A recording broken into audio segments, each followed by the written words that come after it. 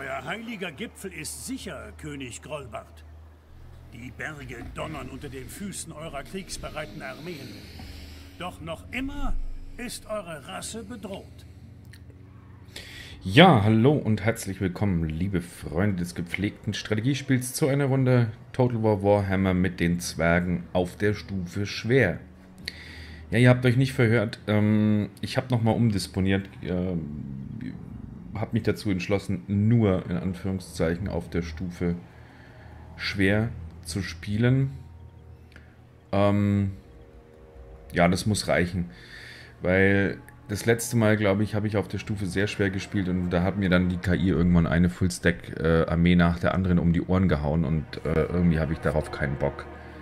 Ähm, ich werde die Schlachten auf der Stufe sehr schwer schlagen und ähm, die Kampagnenkarte ist auf der Stufe schwer. Ich denke, das sollte genügen als Herausforderung. Wie schon gesagt, ich sehe mich da eher noch als Neuling, auch so in diesem ganzen Umfeld. Ich, ja. verseucht. Seht selbst. Nebenbei, ich werde hier ein bisschen schneller durchklicken. Grünhäute der Blutspeere entweihen eure heiligsten Monumente. Sie müssen eiligst aus diesen Bergen vertrieben werden. Kein Zwergenkönig darf derartiges Pack so nah am Immergipfel dulden. Ja, sehe ich genauso. Ähm, wie schon gesagt, ich werde jetzt nicht jedes, alles was er sagt, die Dinge, die klar sind, werde ich einfach weiterklicken. Ja. Die Zwerge von Barak War betrachten eure Sache mit Wohlwollen, Herr. Mit etwas Überzeugung werden sie sich eurem Kampf gegen die Grünhäute anschließen. Jo. Und für alle die, die das Tutorial noch nicht gespielt haben oder neu im Spiel sind, die können sich ja das hier auch gerne durchlesen. setzt von seinen schwachen Lagern auf den Ebenen aus seine Angriffe gegen euch fort. Achtet genau auf jegliche feindliche Bewegungen. Genau.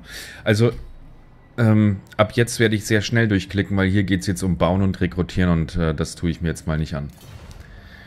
Und wie bewege ich meine Einheiten auf der Karte?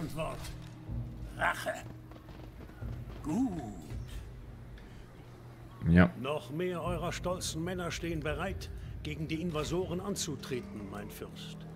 Dann nehmen wir gleich mal hier von denen. Erstklassige Krieger sein. Kümmern wir uns auch um die Verbesserung eurer Infrastruktur daheim. Ein solides Hauptquartier wird sich in... Mhm werden das auch ähm, hier weiterbilden. Dann können wir ganz tolle ähm, Armbrustschützen bauen. Um den Orkabschaum aus den Bergen zu vertreiben.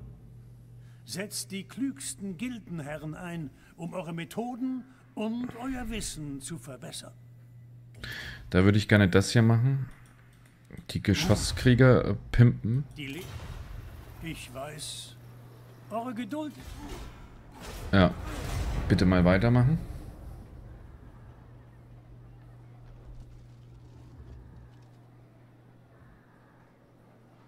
Auf dem Bergpass im Osten versammeln sich Ja, wir werden sie, wir werden sie auch angreifen. Greift sie an?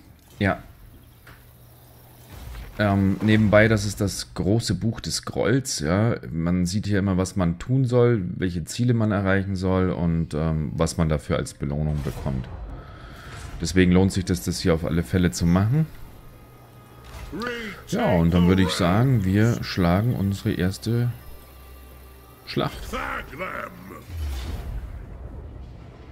Aber die machen wir automatisch. Verluste, Verstärkungsrate minus 5. Hm. Rang erhalten, das ist schon mal gut. Nee, ich möchte eine schnelle Verstärkung haben. Wir haben jetzt hier der Groll der grünen Eindringlinge, das haben wir äh, geschafft. Kriegen dafür 1000 Goldstückchen. Eine Sünde, die nicht länger im Damaskron verbleiben darf. Die Säulen müssen wieder... Ja, auch das machen wir. Aber vorher greifen wir hier an. Und ja, das spielen wir auch gleich mal selbst. Ja, dann können wir hier schon die Garnison der Stadt äh, ziemlich dezimieren. Und ähm, ihn hier können wir auch jetzt endgültig raushauen aus dem Spiel. Das Gute ist, am Anfang haben die Orks noch relativ wenig Kavallerie. Das wird sich dann irgendwann ändern und dann ist das nicht mehr ganz so easy peasy.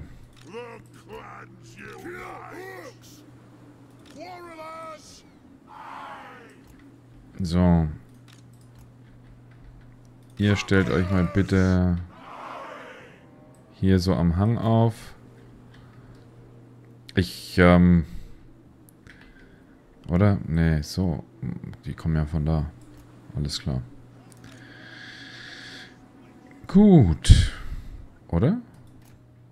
Nee, sie kommen von da drüben. Ich wusste es doch. Hier ist doch der rote Punkt. Also das passt schon.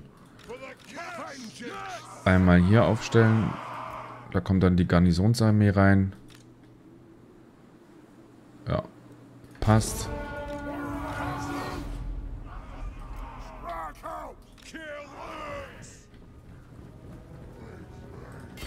Die sollen da gleich mal reinfeuern.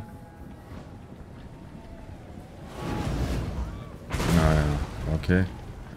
Die hinteren getroffen, auch gut.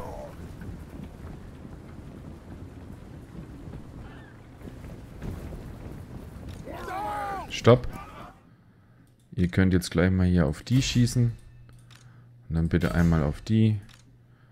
Du gehst hier auf den da los.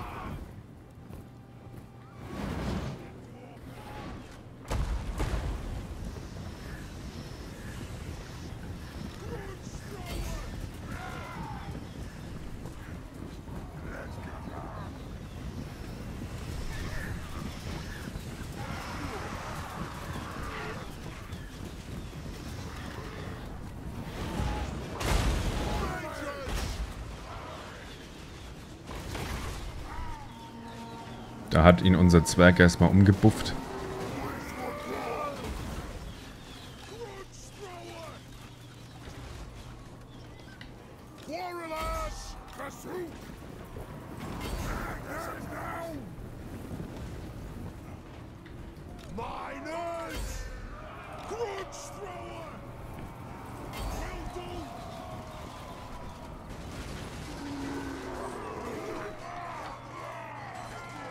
Ah, du wirst mal nicht schießen.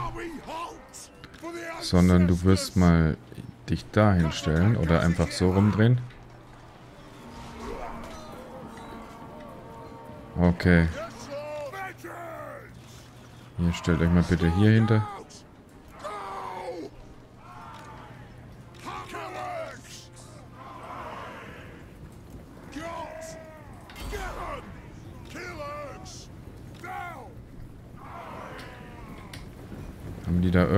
Ne, die haben keine Fernkämpfer dabei. Das heißt, wir können da schön reinheizen.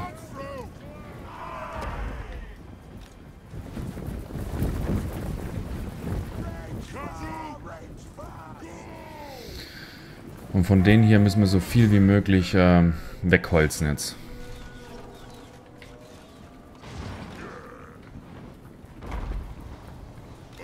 Na, ja, der soll sich hier um die kümmern.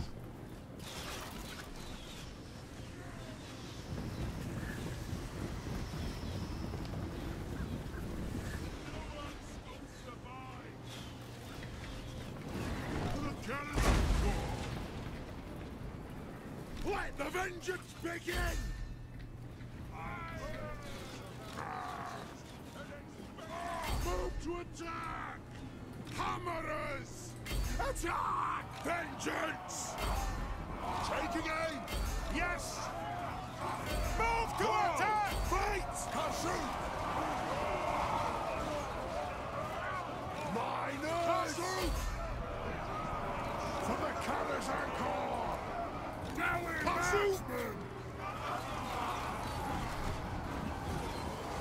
Ihr hört mir bitte auf zu schießen, sonst gibt es nicht zu viel Collateral Damage. Und wenn, dann werdet ihr jetzt einfach mal hier auf diese Seite marschieren. Marsch, marsch.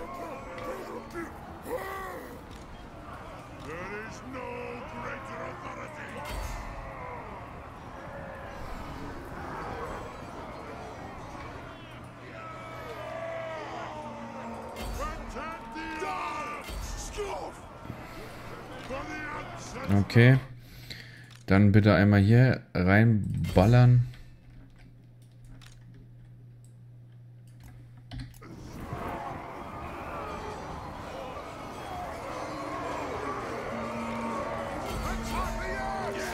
Ah, jetzt fliehen alle. Wir wollen natürlich so viele wie möglich noch mitnehmen.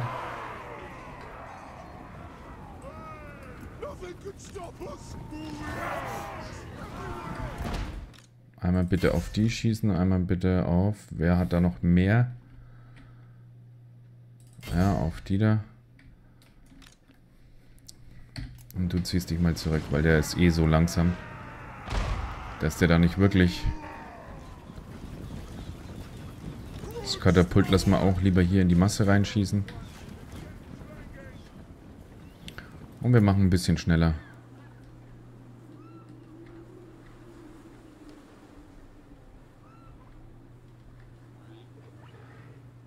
Ja, ja, okay. Das war's dann. Wie weit schießt unser Katapult noch?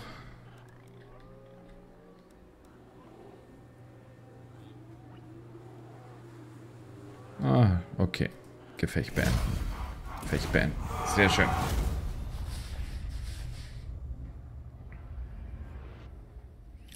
Achtzehn Verluste, ich denke, das ist akzeptabel.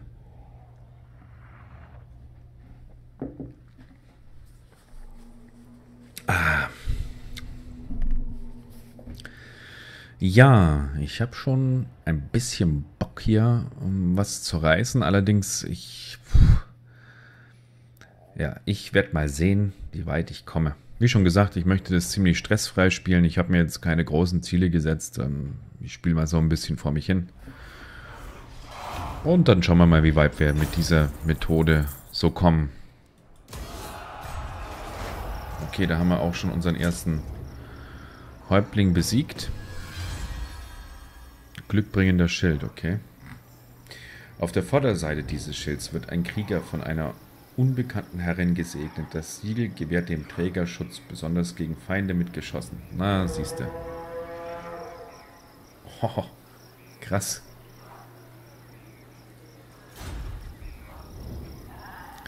Jetzt gucken wir hier gleich mal rein. Der hat jetzt zwei Pünktchen bekommen. Ähm, gehen wir mal kurz in die Details. Er hat einen glücksbringenden Schild. Schadensresistenz. Ah, gar nicht so übel. Keine Verzauberung. Ich habe noch nichts weiter als das. Und Fähigkeiten. Welche Fähigkeiten wollen wir hier ausbauen? Also ich denke, das ist sowieso immer gut. Nahkampfangriff plus 5 beim Kämpfen gegen Grünhautstämme. Das werde ich auf alle Fälle nehmen und auch das Wachstum. Ich möchte nicht zu sehr oder zu schnell lospreschen. Ähm, und damit komme ich eigentlich vielleicht mal zu meiner Strategie, die ich fahren möchte. Ähm, ich möchte mich hier in Ruhe entwickeln. Ja, ich werde ihm diese zwei Städte noch abluchsen, dann habe ich hier eine komplette Provinz. Und zwar ist das die Provinz Silberstraße. Die möchte ich gerne für mich in Anspruch nehmen. Wenn ich es schaffe, irgendwie den Grom-Gipfel noch zu nehmen, wäre das ziemlich cool. Muss aber nicht sein. Ja? Vielleicht, ähm, hier sind, glaube ich, auch Zwerge. Vielleicht können die das übernehmen. Und deswegen kommen wir gleich mal zur Diplomatie. Mal gucken, was die so machen können. Moderat, militärischer Zugang. Abgelehnt.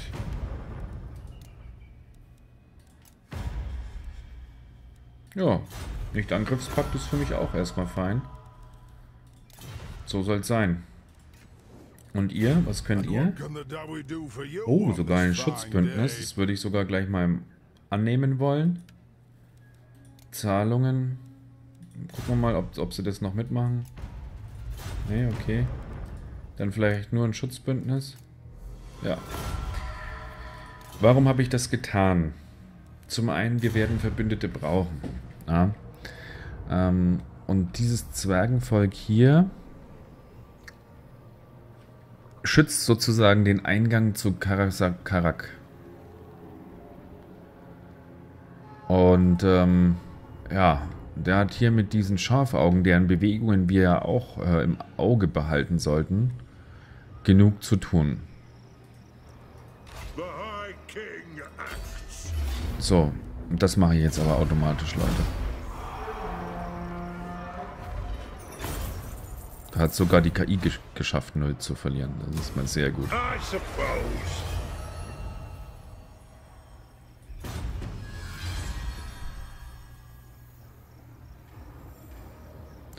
Fähigkeit. Rune der Vorfahren. Unerschütterlich. In der Not wenden sich Zwerge den Runen der Vorfahren zu. Sie erinnern sich an die Pflicht, die nun auf ihren Schultern ruht. Und sie halten Stand. Verbündeter. Okay. Sehr cool. Eure Zwerge wurden mit der Reparatur der eroberten Stadt beauftragt, Herr. Doch gibt es noch viele Grolle zu begleichen. Mhm. Das denke ich auch. Listige Menschlinge und blutlüsterne Vampire drohen eurem Volk im Norden. Und euer Berg ist erst dann sicher, wenn die letzte Grünhaut niedergestreckt ist. In den Krieg. Ich werde hier von Anfang an sehr stark auf ja auf Waffentechnik setzen. Weil ich will von Anfang an meine Armeen so gut wie möglich ausgerüstet haben. Und... Wartet mal kurz. Ich könnte hier natürlich auch die Edelsteinmine bauen. Mache ich vielleicht auch irgendwann. Aber das Problem ist, ich baue jetzt hier eigentlich sowieso schon falsch, in Anführungszeichen falsch, weil letzten Endes ist das nur ein drei ja, Stufengebäude in einer Provinzhauptstadt. Nichtsdestotrotz sind hier ein paar gute Einheiten dabei, die ich möglichst schnell, an die ich möglichst schnell kommen will. Und ich möchte auch die Zwergenfeste, das heißt die Stufe 3, so schnell wie möglich zu erreichen. Ja, das ist jetzt mal mein Plan. Ob mir der gelingt, ob das weise ist, kann ich euch nicht sagen. Ähm, auch hier möchte ich so schnell wie möglich die nächstbesseren, ähm, ja, wie soll man sagen, die nächstbesseren Einheiten haben.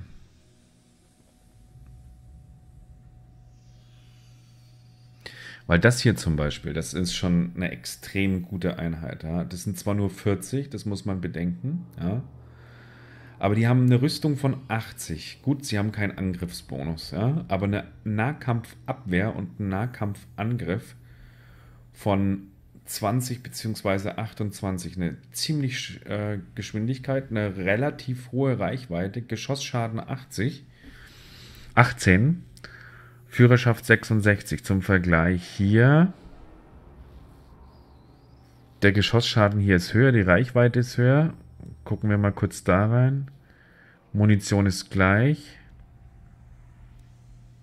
Waffenstärke, wo war die jetzt hier? Ist auch gleich, Nahkampfabwehr auch gleich. Moment mal, sind die überhaupt so gut? Die sind eigentlich sogar langsamer.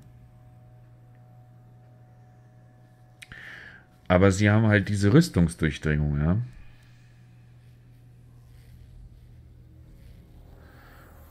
Mhm.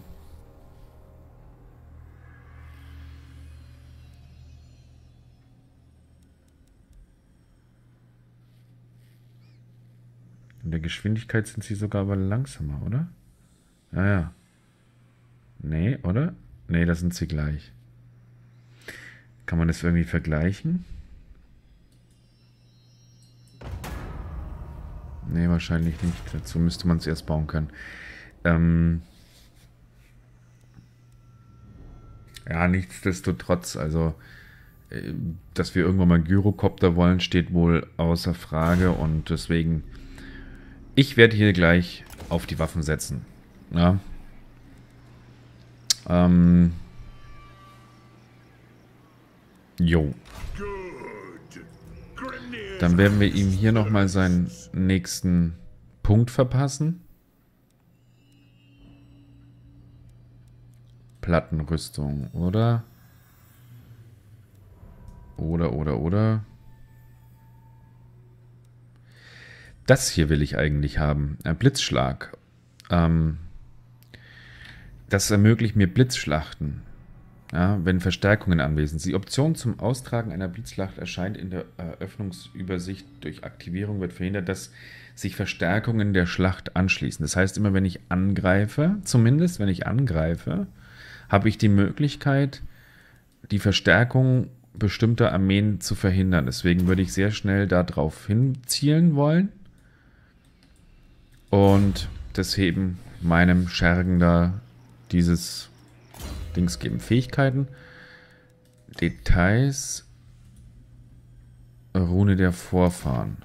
Ja, das war schon mal kein so schlechtes Ding. Gut. Ähm, es gibt noch mehrere Grolle zu begleichen. Ja, das ist jetzt hier hinten irgendwie so eine Mission, die da gleich ab aufpoppt. Und wir werden einfach weitermachen.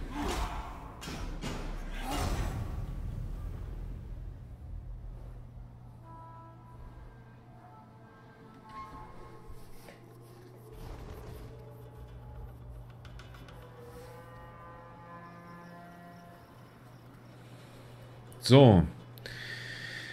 Wer hat hier wem den Krieg erklärt? Krieg erklärt von Carstein, den Zufbar. Krieg erklärt, die Schafaugen. Krieg erklärt. Haarknoten. What? Die haben sich gegenseitig den Krieg erklärt? Oh, ist ja cool. Die gehen also untereinander auf, aufeinander los. Das ist schon mal sehr gut. Und während sich hier unser Dude erholt, ähm, werden wir ihm auf alle Fälle noch ein paar gute Einheiten zuschanzen. Ähm,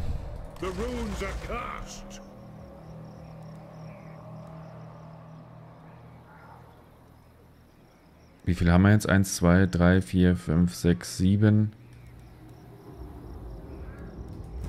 Machen wir es mal so. Das sollte erstmal reichen.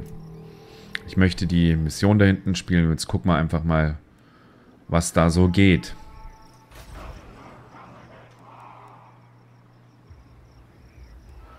Wie viel brauchen wir für zwei? Naja, das kriegen wir schon hin.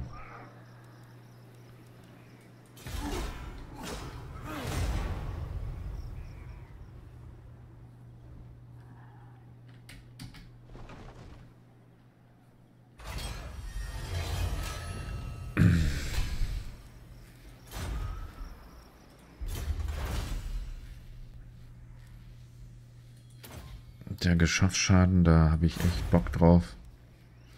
So, ich werde das jetzt hier nicht ausbauen, ja. Ganz bewusst nicht. Ähm, sondern ich werde warten, bis ich hier die zwei auf alle Fälle zusammen habe. Und dann können wir weiter gucken, was wir hier so tun.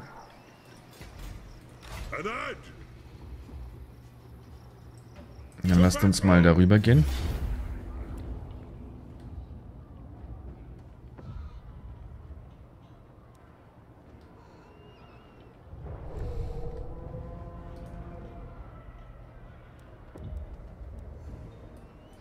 Ja, das machen wir selber. Ich möchte möglichst ohne Verluste aus dieser Schlacht hervorgehen. Wir müssen natürlich aufpassen. Auch die Orks haben ihrerseits diese Fähigkeit, äh, feindliche ähm, Siedlungen und auch feindliche Armeen durch diese Tunnelsysteme zu umgehen, sind natürlich aber auch anfällig, dann ähm, durch mich gefangen genommen zu werden. So möchte ich das mal bezeichnen. Ähm, ja. Wir sollten jetzt hier ausreichend viele Speerwerfer haben. Wir stellen die davor, das passt. Und der King kommt auch nach vorne.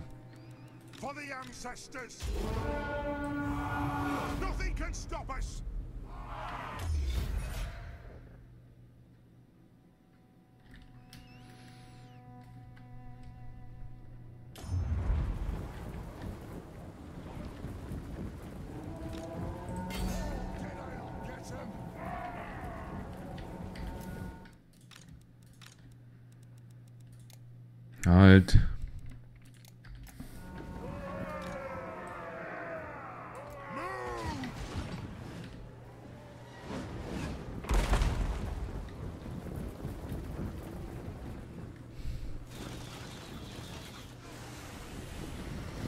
Mal gucken, wie ihm das gefällt, wenn er jetzt da gespickt wird.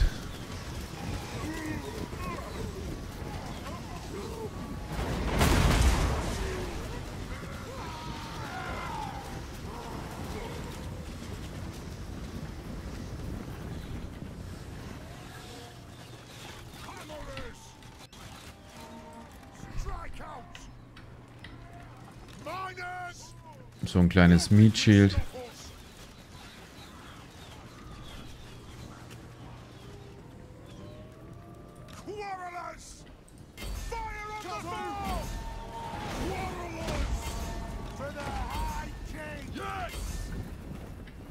So, Pause.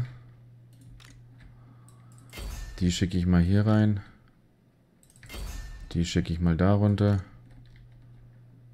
Ah, Ihn schicke ich auch hier vor.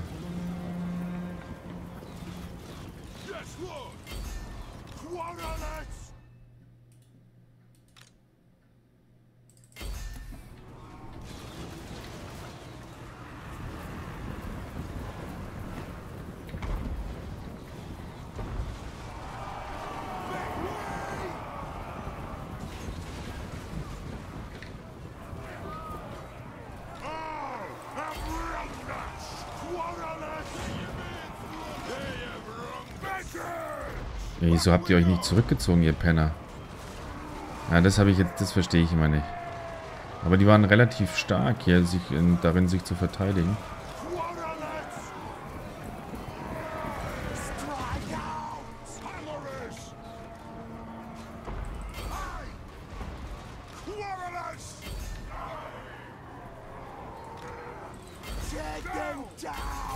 So, das ist auch schon der Sieg. Wir brauchen hier auch nicht großartig äh, den Helden mimen. Wir können das Gefecht getrost beenden. 22 Verluste, ja gut. Das gönnen wir uns einfach mal. Ja. Morguls Eisenkiefer. Das hört sich so ein bisschen nach Berlin an, wa?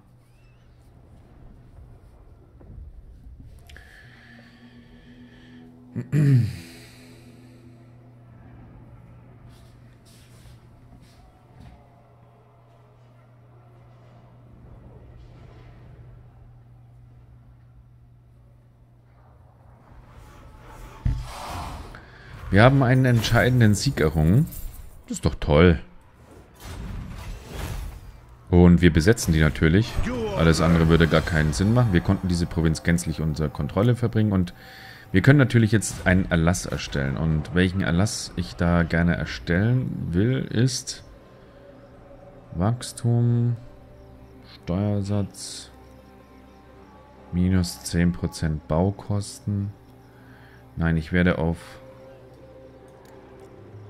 Moment, Rekrutierungskosten ist natürlich auch interessant.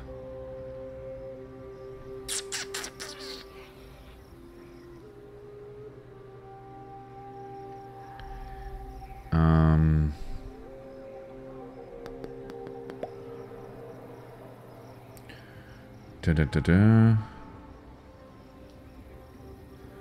Gebäudekosten. Ah, im Moment lieber auf setze ich da mal lieber auf Wachstum. Das passt schon so. Und auch hier werde ich jetzt einfach mal auf Wachstum setzen. Ja. Dann kriege ich da nochmal plus jeweils 15% obendrauf. Ja, und das sind dann schon mal wieder 90. Dann geht es relativ schnell.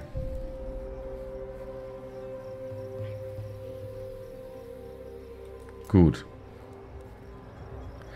Was mich jetzt bloß ein bisschen wundert ist, normalerweise kriegt man hier immer eine, eine wie soll ich sagen, eine, eine Mission. Die ist jetzt allerdings nicht da. Ich hoffe, das ist jetzt nicht dramatisch.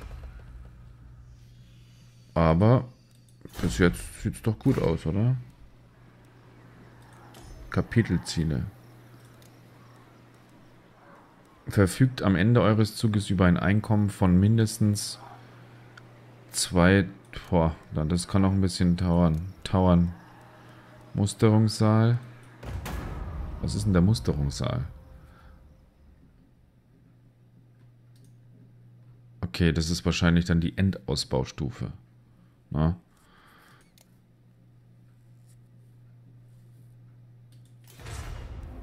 Schließt Anzahl der 2, das passt auch. Da kriegen wir jetzt auch bald unseren ersten Tausi zusammen. Lasst uns noch mal kurz hier hingehen. Und schauen, ob die irgendwie... Na, militärisches Bündnis wollen die noch nicht. Haben wir gemeinsame Feinde.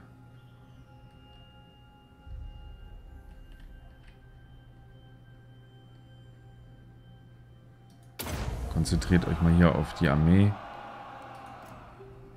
Haltet die mir ein bisschen vom Leib.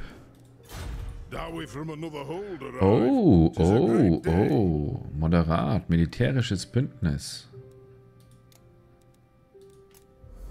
Sehr schön. Und ihr greift bitte gleich mal den Grom-Gipfel da oben an. Jawohl. Dass ihr diese Typen hier ein bisschen im Zaum haltet für mich. So, er hat wieder ein Pünktchen bekommen. Das ist Herz allerliebst. Das hier ist eigentlich nicht schlecht. Da kriegen wir eine bessere Chance, ähm, die Armeen, die versuchen an uns vorbeizuschlüpfen, abzufangen. Das ist sehr gut, finde ich. Ähm ja, und wir machen weiter. Ah, ihr seht schon die Armee da rechts. Ja, genau das habe ich gemeint. Da hat sich dieser kleine Punkt schon ausgezahlt. Ich, wem, wem gebe ich das Banner? Zieht die Rune oder das Banner auf die Einheit, der sie zugewiesen werden soll. Bla bla bla. Ja. Natürlich er. Und wir werden das natürlich spielen. Ist doch klar. Und wenn mich nicht alles täuscht, also zumindest bei den Zwergen ist es so, dass wenn ich jetzt diese Armee schlage, sollte sie eigentlich vernichtet sein. Aus dem Grund, weil ich sie ja abgefangen habe und sie nicht flüchten kann irgendwie. Jo.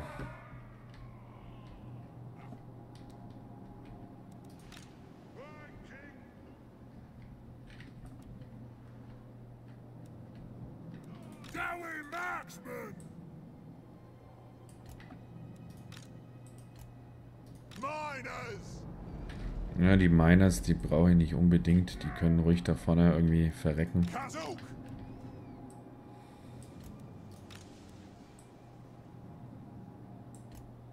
Dwarf Warriors! The clans unite! Hm. Warum nicht so? Du gehst auch mal als Brecher nach vorne.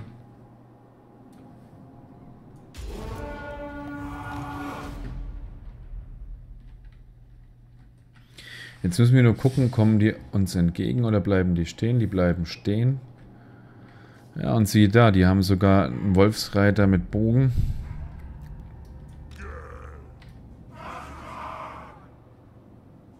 Ja.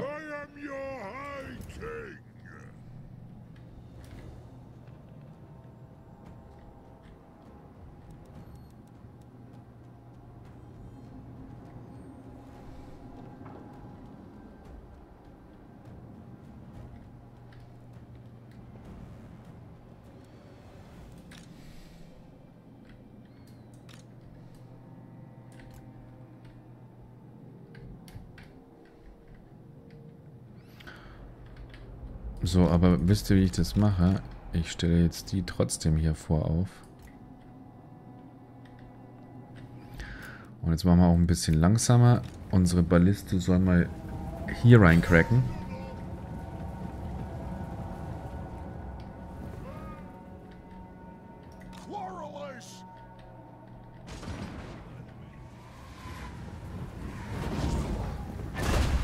Sehr gut.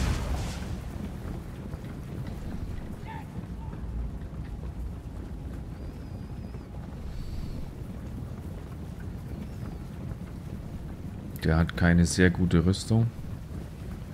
Morgul. Den habe ich doch schon mal erledigt, oder nicht?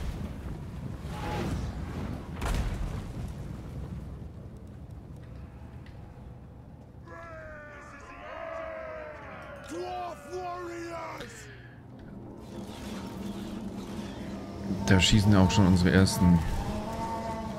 Die sind schon gleich mal ein bisschen gestoppt worden.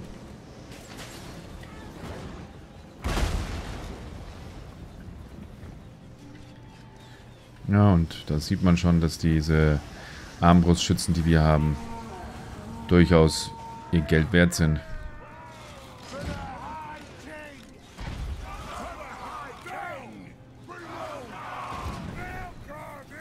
Stoppt mal. Ihr werdet auch erstmal nur verteidigen. Außer ihr. Ihr geht in den Angriff über.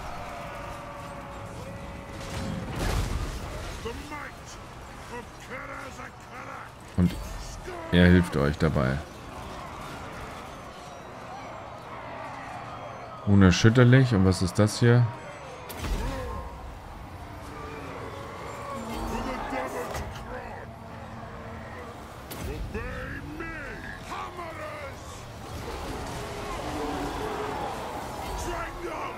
Sehr gut.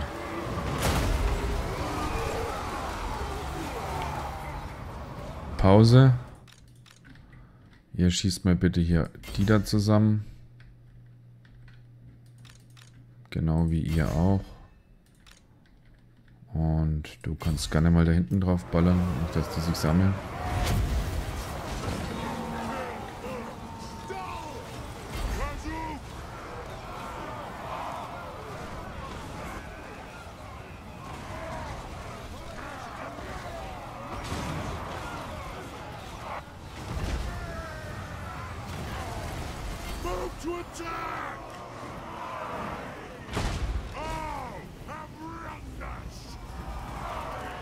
So, jetzt dürften alle fliehen.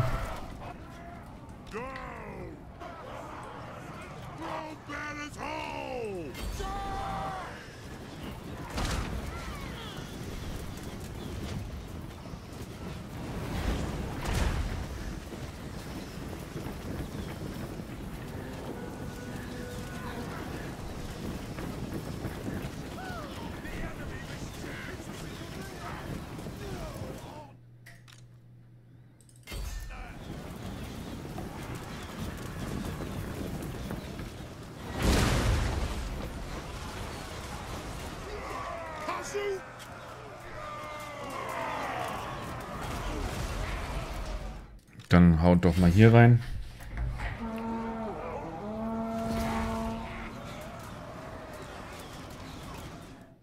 Ja, der ist tot. Sehr schön. Das ist unser Sieg.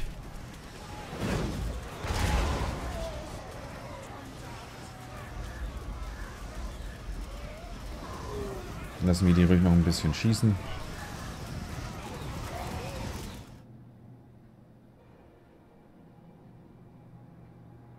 Sehr gut. Nur für den Fall, dass die doch nicht alle tot sind. Lasse ich die jetzt einfach mal noch ein bisschen weiter ballern.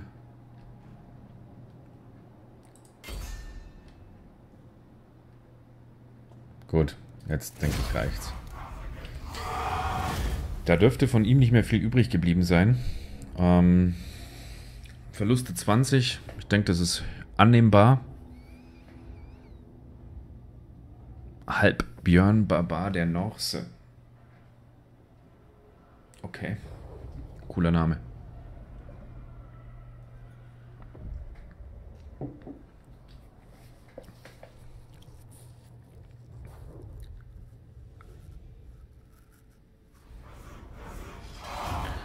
So.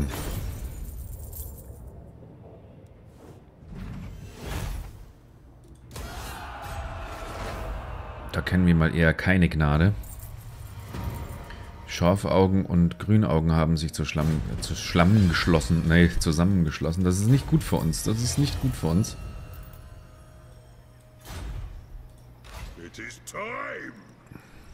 Das ist nicht sehr gut für uns.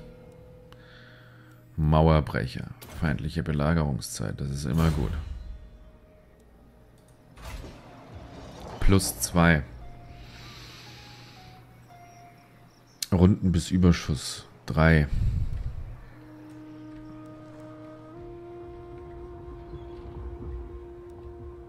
Boah.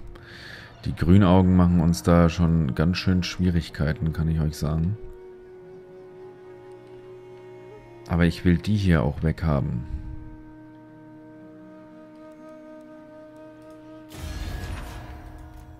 Wollt ihr vielleicht auch ein Bündnis mit mir haben?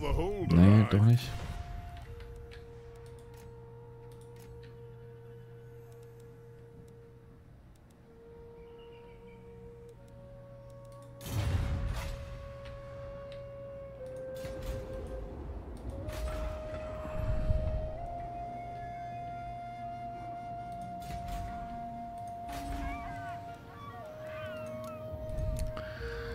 Sehr komisch irgendwie.